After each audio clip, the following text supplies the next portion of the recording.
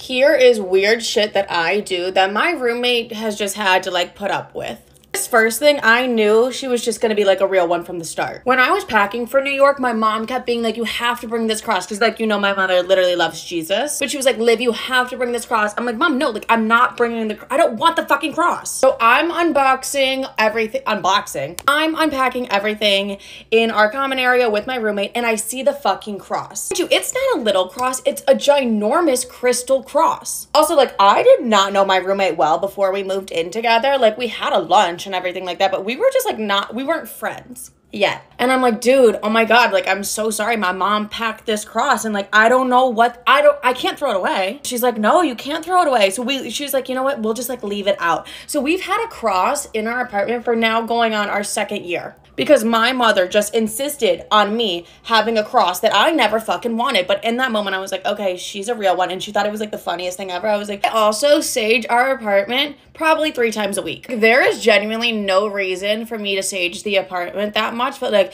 I'm just a woo woo ass bitch and I'm like, I'm cleansing the negative energy. So every time I do it, I send her a text and I'm like, hey, like, do you want your room saged? It's literally like the fifth time this week. I'm like, you want your room saged? Like, what's up? She's always a good spirit. She's always like, yeah, yeah, like, that's fine. But I, I quite literally sage our apartment so fucking much. Going off like my spiritual shit, I also do like a little money manifestation in the beginning of the month. I have to like leave a quarter outside. And like the first of every month, I'm like, don't touch that fucking quarter. And she's like, okay, like I literally won't touch the quarter because like you're not like allowed to touch the quarter or what. She like never asks questions and I'll randomly be like, we're gonna bring in a lot of money this month. And she's like, what? And I'm just like, mm, mm, mm, even like yesterday, I was like, I just am feeling in my fucking titties that the crystals need to be in the shower. So, like, let's put the crystals in the shower. And she's like, okay, that's fine. Mind you, like, they're my fucking crystals. I'm like, we're putting them in the shower. And she's like, okay. She never questions my woo woo shit. And that's why I love her. I think I've even gotten her to be like a little bit of like woo woo because she's always like, pray to the rocks for me, please. And I'm like, I got you, babe. Like, I got you. Don't even get me started on the fucking plethora of men. Okay, not, not plethora. But like, she firsthand witnesses all the dumb shit that I go through with men. And like she gets to fucking meet these losers. Like the losers I tell you guys about,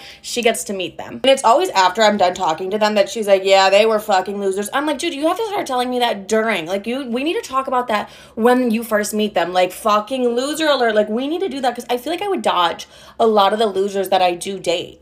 To part 2 also like corporate girly like boss ass bitch has like an amazing job and i'm over here like i make tiktoks all day. So she'll come home from like a stressful day at work. Wait this literally like happened last week. I was playing like volleyball with the little balloons that i had because i had balloons for when i celebrated a million with my best friends. I just like have my earphones on like my noise canceling headphones. It'll let me get don't get me started on those. I'm just like dancing to SZA and like playing volleyball with this little fucking balloon and she just like walks in and i'm like hey how are you? Like a stressful day and i'm over there like I'm also like addicted to my noise canceling headphones, so like I love to wear them whenever she needs to talk to me. So she has to like walk up to me and like tap me. Every single time she does it, I go, Oh my god, you scared me. She's like, literally, it's only us in the fucking apartment. Like, who else? is here, Livy. Does also have to listen to like my first hand rants, like the rant, the dumbest shit. Like if someone pisses me off in Target, like I come home, and I'm like, I could fuck it like the most, obviously like what I do on here just like my most insane rant or the biggest one. I'm like is it normal that i could be mad about this? I'll come home and let's just say like my mom pissed me off or something. I'm like is it normal to be like i just ask her about everything. I'm like is it normal that i'm mad about this? Like i just need her justification to know if i'm being a dramatic ass bitch or not. She always gives it to me too and she's always very honest. Whenever i get like a little ocd outburst well like not even outburst but like if she's going on a plane like i have to touch her elbow. I don't know why it's my fucking ocd brain. I'll be like come here let me touch your elbow before you go to Europe because I don't want anyone to die. And she's like, What? I'm like, mm, Love you, have fun in Europe. I also have to deal with my mother because my mother, for some reason, will like and comment on every single one of my friends' Instagram stories, especially my roommate. Like, she loves my roommate. My mom loves my roommate's boyfriend even more. So, like, if my roommate posts my boyfriend, she's getting spam from my fucking mother on Instagram. Like, literally spam. Like, my mom will call, and if my roommate's even near me and my mother knows that, like, she has to have a full conversation with my mother. And then my mom has to ask about the boyfriend. It's like a whole fucking ordeal every single time. She was my first roommate, like, literally ever because I've lived alone for like the past five years. She's like literally the best. I don't think I could have asked for a better roommate because I was scared as fuck. I was like, what if I hate this bitch? But that did not happen and I love her with my entire heart and soul. And she gets to deal with my craziness every single day. But literally, I love that girl with my entire heart and soul. Am I wrong for refusing to help my daughter with her car payment because she is a stripper? Hmm. I, 42 male, have a 22 year old daughter. She's in college and lives on campus. I agreed to help her make her car payments since she was in school. I was recently informed by a young man I work with that my daughter strips at a club about 40 minutes away. I confronted her on this and she said she didn't plan to do it after she graduated and just needed some money. I told her then to work at McDonald's, not use her body. Ugh. But I get your point. I do. I really do as a dad. But the amount of money you make at McDonald's versus the amount of money you make as a stripper is drastic. If school didn't cost an arm and a leg to survive, I'd be like, yeah, work at McDonald's. But life is expensive right now. It doesn't cost as much as it did when you were in school, which was like, what, a thousand dollars a semester? Shit is expensive. School is like five, six grand a semester minimum. And that's not including living expenses. We got into an argument and I asked her to quit stripping and get a decent job then. She refused and said stripping was easy money, so basically I said there was no need for me to pay her car payment anymore since she making money so easily. She got upset and said that wasn't fair and that she doesn't make enough for that. I told her to figure it out. She told my wife about what happened, and my wife was upset by her job choice, but says it's unfair for me to stop supporting her so suddenly over an argument. I think it's perfectly fair, it's my money and my decision when to cut it off. Ouch.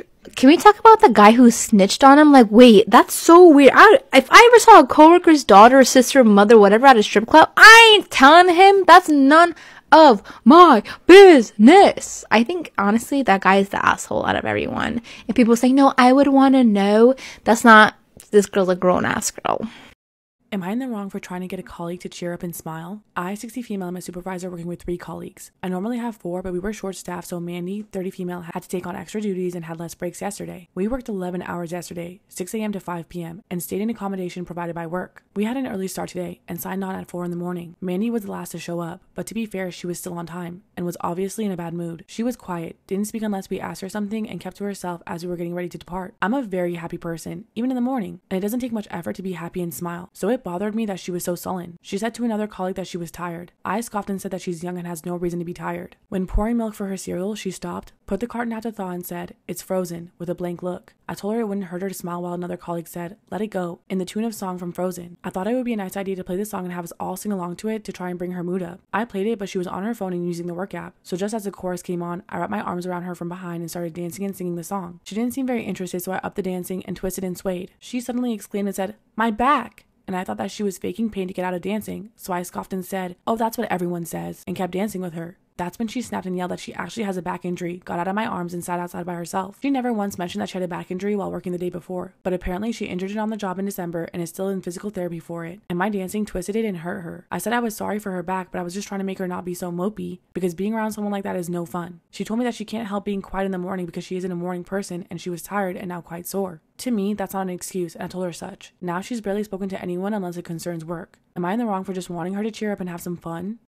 I'm with asshole for not wanting to cancel our honeymoon despite what happened with my brother-in-law. My husband is 32 and I'm 24. We just got married three weeks ago and we're currently celebrating our honeymoon. The plan was to travel for two months to different countries in Europe, Asia, and Africa. We're currently in Spain and we are supposed to take a plane to Morocco in two days. However, my husband wants to cut the trip short and go back home now. Wife and daughter had a car crash and they're in the hospital. The kid is fine, but his wife has to be a little longer in the hospital and that's all we know. I told my husband that I understand he wants to support his brother, but that he is not a doctor. He can't really help. I told him to call his brother as the best he can do is just send his best wishes to them. I said our honeymoon is important because it's time for ourselves to enjoy and spend together. He wasn't having any of it. He called me selfish, then kicked me out of our bedroom. And he told me that he's leaving tomorrow because he needs to be supportive of his brother. And told me I can continue the trip by myself. But I said that's not the point of a honeymoon at all, and I told him so. I said if he would have known how bitchy I was, he would never dated me. Am I the wrong? I'm the asshole for talking to my friend's ex even though it's not technically her ex. So I just graduated and I've been going back and forth texting this guy who I thought was really attractive, and he just so happens to be my friend's ex. For about a month, we've been texting and we realized we have a lot in common, so we clicked. But I feel really weird because he hooked up with my friend and sort of an acquaintance of mine at prom, and was sort of a thing with my other friend. They've gone back and forth many times over the years, and she never really liked him, but when senior year hit, He changed a lot and got a lot fitter. She then now wanted to date him, and they did, but they were on and off literally every other week. He would flirt with me in school, and now that we're out, I don't know whether or not he's truly into me or if he just wanted to get with me. We are both really flirty with each other and hung out multiple times. He's also very protective of me and touchy whenever we're out. He texts me from the moment I wake up till 1 or even 4 o'clock in the morning. So I'm just wondering, am I in the wrong in this situation, even if they were never exactly official? Please comment your thoughts.